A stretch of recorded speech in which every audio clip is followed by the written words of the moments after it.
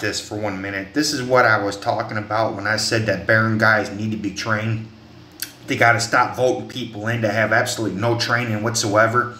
So this guy here raped a girl, and he's not in handcuffs. Look.